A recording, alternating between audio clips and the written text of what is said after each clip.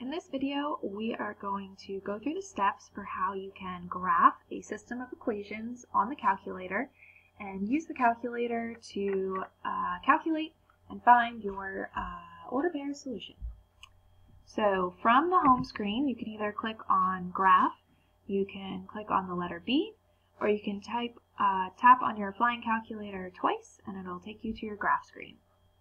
If when you go to your graph screen, this line up here uh, that says f of 1 um, does not appear, you click on the tab button and that will pop up. So under f1 of x, that is where you're going to type your first equation. So every equation that you type in here needs to be in y equals mx plus b form. You do not type the y equals, that's what the f1 of x is the same as. Um, and so the first equation for my example is y equals x minus 3. So you'll notice again I only typed the right hand side of that equation. After you type it in you hit enter and your first line will appear.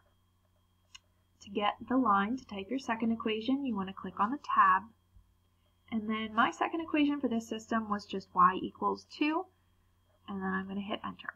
So you'll see the two lines.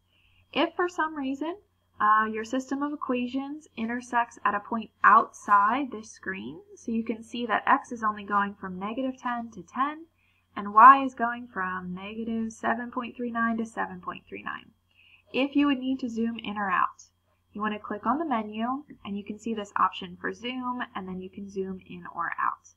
If uh, you kind of mess with your zoom screen and you want to get back to this standard, you can just click on standard it also has a setting for you just to see quadrant 1.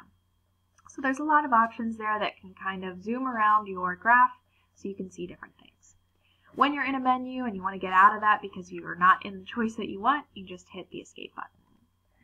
So again, we can see the two graphs. Um, if you don't need these two labels and it kind of messes up uh, your window or it's kind of just feeling messy, um, you can click on those and you can click delete and it'll get rid of the label. You just need to make sure that you're only clicked on the label or it could actually delete your graph. Now, we want to calculate this intersection point here. Um, so in order to do that, you want to click on Menu. You want to choose 6 to analyze your graph, which means you can either arrow up and down, or you can just type the number 6. And then we're looking for the intersection point, which is choice number 4. Now, once you have that, you'll notice that there is this dashed vertical line. So you can move this vertical line left or right by using the touchpad right here in the center. So that works as the same as the touchpad on your Chromebook. So for lower bound, what that means is to the left of your intersection point. So you want to move that over so it's close to your intersection point but to the left. And then you click down with that touchpad.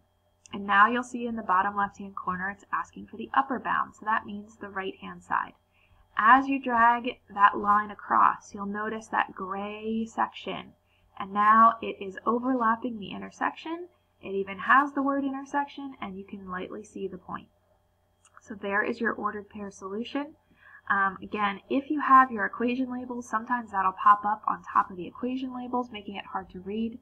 Um, there is an option, you can see that little grabby hand where you can grab the whole thing and then you can kind of move it around. It is a little bit easier for me here on the computer, um, but it is possible on your graphing calculator as well.